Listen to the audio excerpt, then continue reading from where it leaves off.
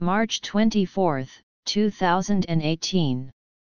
Decreasing for his purpose. He must increase, but I must decrease. John 3:30 If you become a necessity to someone else's life, you are out of God's will. As a servant, your primary responsibility is to be a friend of the bridegroom. John 3:29. When you see a person who is close to grasping the claims of Jesus Christ, you know that your influence has been used in the right direction.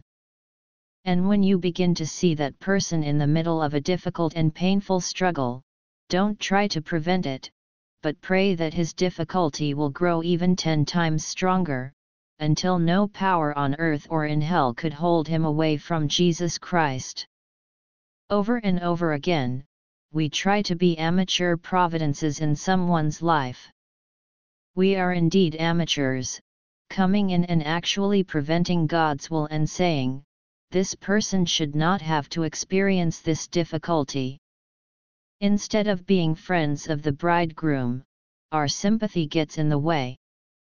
One day that person will say to us, You are a thief, you stole my desire to follow Jesus, and because of you I lost sight of him.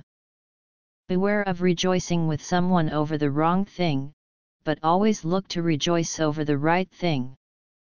The friend of the bridegroom, rejoices greatly because of the bridegroom's voice. Therefore this joy of mine is fulfilled. He must increase, but I must decrease.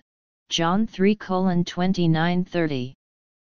This was spoken with joy, not with sadness at last they were to see the bridegroom.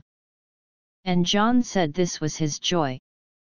It represents a stepping aside, an absolute removal of the servant, never to be thought of again. Listen intently with your entire being until you hear the bridegroom's voice in the life of another person and never give any thought to what devastation, difficulties, or sickness it will bring. Just rejoice with godly excitement that His voice has been heard. You may often have to watch Jesus Christ wreck a life before He saves it. See Matthew 10:34.